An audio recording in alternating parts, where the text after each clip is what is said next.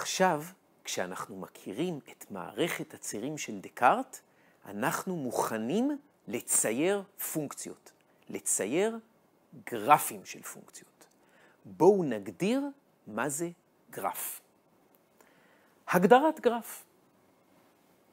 כדי לצייר פונקציה, אנחנו נצייר במערכת הצירים אוסף של נקודות. אנחנו נסמן את כל הנקודות, נקודות הן x פסיק y, את כל הנקודות x פסיק y שמקיימות תנאי מסוים.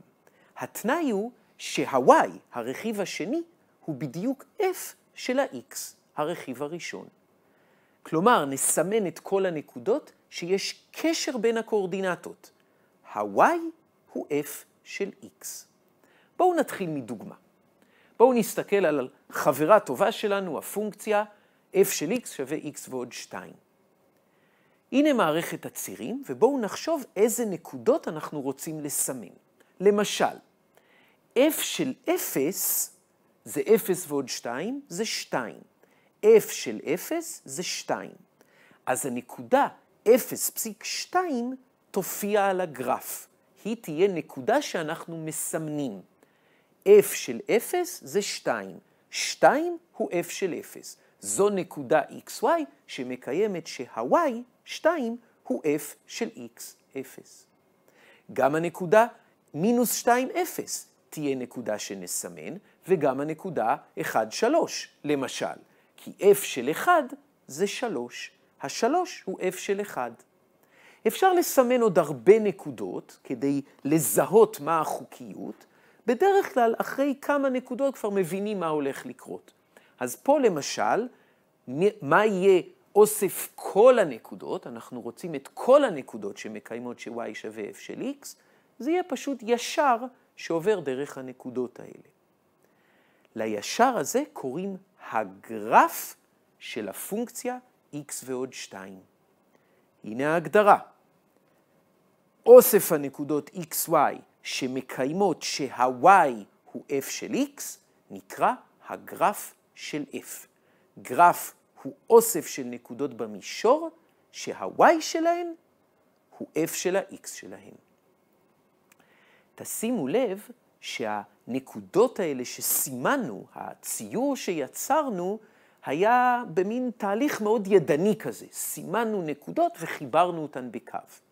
בהמשך אנחנו כמובן נלמד על דרכים הרבה יותר מתקדמות ומתוחכמות, איך מתוך הנוסחה להבין איך נראה הגרף, גם כשהגרף יהיה הרבה יותר מסובך. אבל אנחנו רק מתחילים. בואו נעשה עוד דוגמה. בואו נסתכל על הפונקציה שגם אותה פגשנו, f של x שווה x בריבוע. איך נראה הגרף שלה? אז הנה מערכת הצירים, אני רוצה לסמן נקודות שהרכיב y שלהן הוא f של הרכיב x שלהן. אז למשל, אם x הוא 0, אז ה-y צריך להיות f של 0, כלומר 0.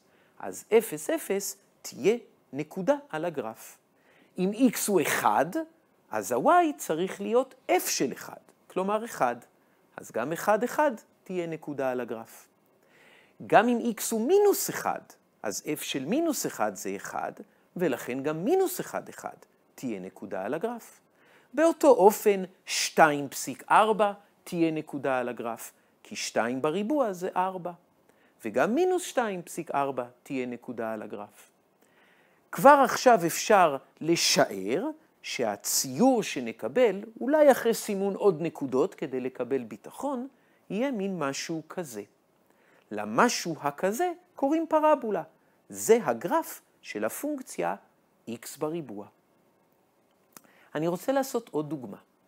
הדוגמה השלישית תהיה אותו כלל העתקה, x בריבוע, אבל עם שינוי של התחום והטווח. דיברנו על זה בסרטון קודם.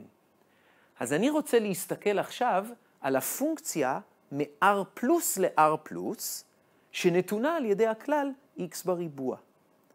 אם יש שינוי בפונקציה, וראינו שזה גורר שינוי בתכונות של הפונקציה, צריך להיות גם שינוי בגרף. הגרף הוא ראי לפונקציה, הוא דרך לצייר את הפונקציה. בואו נראה איך נראה הגרף. הנקודה 0, 0 תופיע על הגרף. f של 0 זה 0, ו-0 היא בתחום. גם הנקודה 1, 1 וגם הנקודה 2, 4 יופיעו על הגרף, מאותה סיבה. בדוגמה הקודמת הייתה גם הנקודה מינוס 1, 1, אבל היא לא תופיע על הגרף עכשיו. כי מינוס 1 הוא לא בתחום ההגדרה. הוא לא שייך לתחום ההגדרה של הפונקציה הזאת.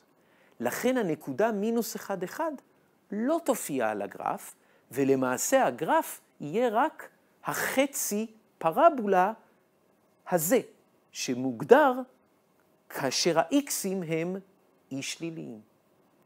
אז אנחנו רואים פה שתי פונקציות שונות, למרות שיש להן אותו כלל העתקה, אבל הפונקציות הן שונות והגרפים הם שונים.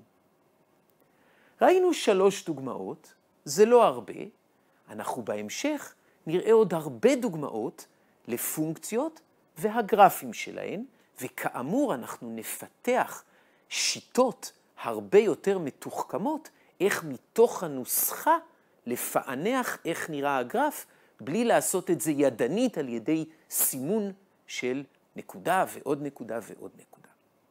אז עוד דוגמאות, עוד גרפים, ראי למושג הפונקציה בהמשך.